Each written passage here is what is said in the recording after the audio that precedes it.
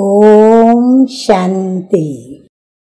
आज की तारीख है उन्नीस ग्यारह बाईस। और आज की ज्ञान मुरली का शीर्षक है, मीठे बच्चे पतित पावन बाप आए हैं। पावन बनाकर पावन दुनिया का वर्षा देने। पावन बनने वालों की ही सदगति होती है। और सदगति उन्हों को ही प्राप्त होंगी।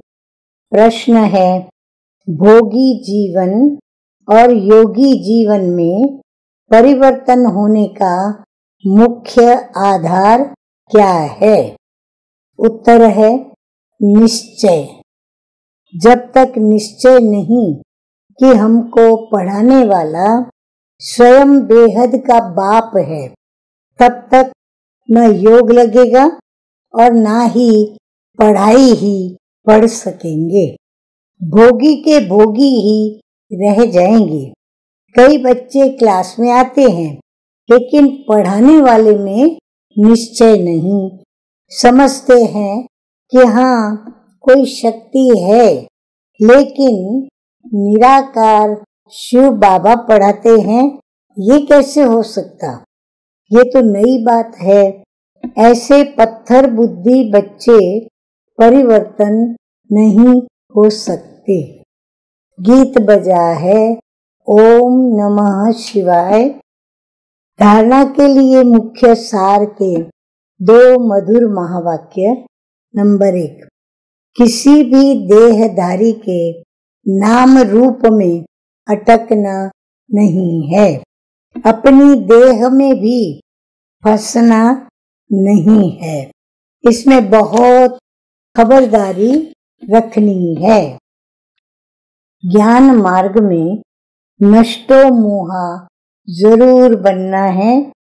पवित्रता की आज्ञा माननी है और दूसरों को भी पवित्र रहने की, बनाने की युक्ति रचनी है। वरदान सतगुरु शिव बाबा का सर्व विकारों के अंश का भी सर्व विकारों के अंश का भी त्याग कर संपूर्ण पवित्र बनने वाले नंबर वन विजयी भव। मीठे मीठे बाबा कहते हैं कि संपूर्ण पवित्र वो है जिसमें अपवित्रता का अंश मात्र भी न हो। पवित्रता ही ब्राह्मण की पर्सनालिटी है। ये पर्सनालिटी ही सेवा में सहज सफलता दिखाती है।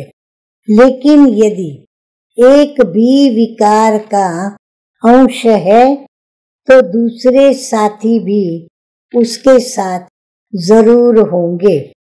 जैसे पवित्रता के साथ सुख, शांति है ऐसे अपवित्रता के साथ पाँच विकारों का गहरा संबंध है।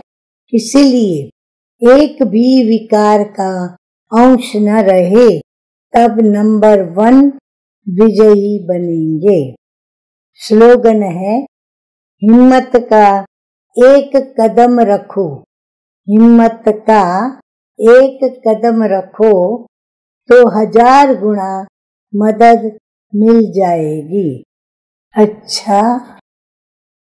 मीठे मीठे, सिकी लदे बच्चों प्रति माता पिता बाप दादा का याद प्यार और गुड मॉर्निंग। रूहानी बाप की, रूहानी बच्चों को नमस्ते।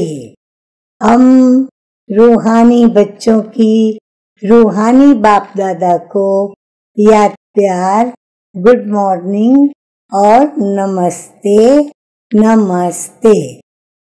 ओम शांति।